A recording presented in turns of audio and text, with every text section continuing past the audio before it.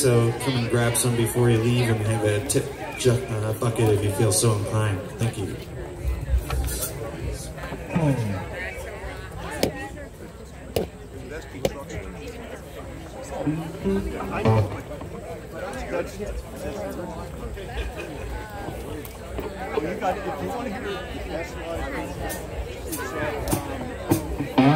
You